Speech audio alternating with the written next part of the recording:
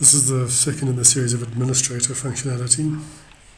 Here we've been administering an organization and we've added a user called demo user and demo user is an administrator and they're also a mentor.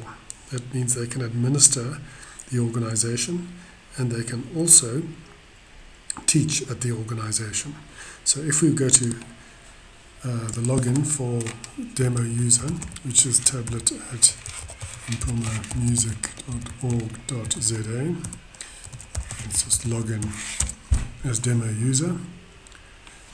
The first thing it's going to ask me to do is to accept the terms and conditions and uh, it's giving me enrollment instructions for Casterbridge Music Development Academy. So that is the organization that you've been added to. And if we go back here, you will notice that the terms and conditions have not yet been approved. Okay, so if I agree to those, that now has let me through. And what you will notice as being different is we now have my classroom. Now, my classroom is a teacher functional, functionality um, feature on this platform. And in the administration section, you have the 2Enable administrator application. So you can, in fact, as a user, launch this application, which comes up like that. You need to launch it through Mozilla Firefox or through Internet Explorer, but not through Edge and not through Chrome, as they do not support Silverlight, and Silverlight is part of this, this back-end program. So that will allow me to launch it, and I'm going to show you what happens when you try to launch it in Edge, which it won't run in.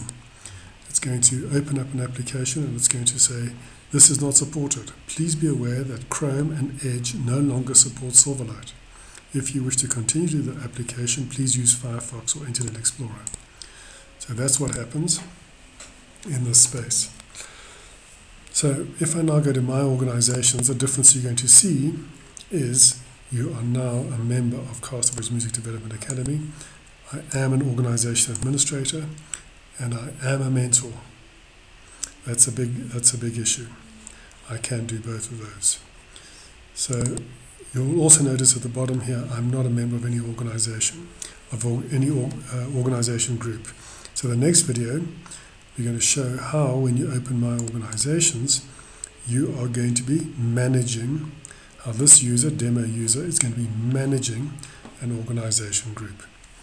And um, I hope that explains the functionality upgrade of adding teacher, which we're going to detail this in, we're going to explore this in detail later. Um, and this we've you've really had some insight into. Uh, so follow the next video, which is going to show organization groups.